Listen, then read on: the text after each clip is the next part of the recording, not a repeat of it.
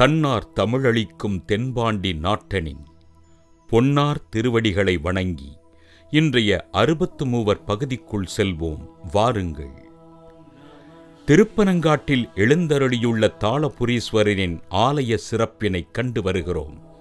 தொடர்ந்து அந்த ஆலயத்தில் சுந்தரர் இயற்றியுள்ள பாடல்களை காண முற்படுவோம். இப்பதிகம் ஏழாம் திருமுறையில் இடம்பெற்றுள்ளது. அந்த பாடல்கள் இதோ. விடையின் மேல் வருவானை வேதத்தின் பொருளானை. அடையில் அன்புடையானை யாவர்க்கும் அறியுண்ணா. மடையில் வாழைகள் பாயும் வன் பார்த்தான். பனங்காட்டூர் சடையிற் கங்கை தரித்தானை. சாராதார் சார்பெண்ணே.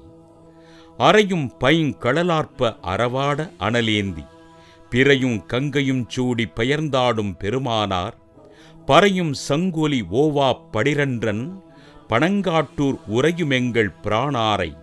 உணராதார் உணர்வென்னே தன்னார்மா மதிசூடி தழல் போலும் திருமேனி கென்னார் நான்மலர் கொண்டாங் கிசைந்தேத்துமடியார்கள் பன்னார் பாடல் அறாத படிரன்றன் பணங்காட்டூர் பெண்ணாணைய பிரானை பேசாதார் பேச்சென்னே நெற்றிக் கண்ணுடையானை நீரேறும் திருமேனி குற்றமில் குணத்தானை கோணாதார் மனத்தானை பற்றி பாம் பறையார்த்த படிரன்றன் பனங்காட்டூர்.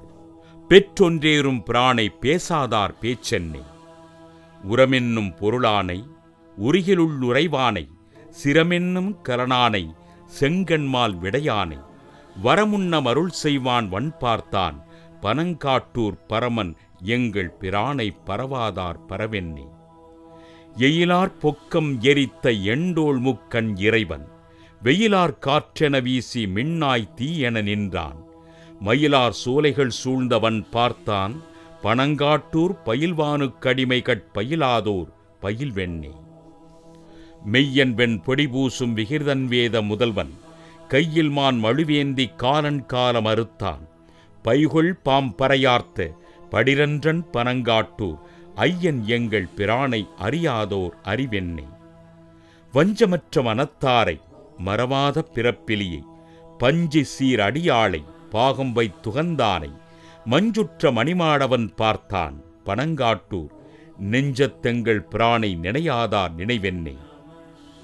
மலையானும் திகழ்கின்ற மலரோரென்றிருவர்தாம் உளையா நின்றருவருள்க உயர்வான துயர்வானை பழையானை பனங்காட்டூர் பதியாகத் திகழ்கின்ற குளைக்காதற் கடிமைகட் குளையாதோர் குளைவென்னே பாரூரும் பனங்காட்டூர் பவளத்தின் படியானை சீரூரும் திருவாரூர் சிவன் பெண் சென்னியில் வைத்த ஆரூரன் அடித்தொண்டன் அடியன் சொல் அடிநாய் சொல் ஊரூரன் உரை செய்வாய் உயர்வான துயர்வாரே. பாடல்களை செவிகுளிரக் கேட்டோம். அதன் சிறப்பினை உணர்ந்து இறைவனைப் போற்றி இறையருள் பெற்று இன்புற்று வாழ்வோம்.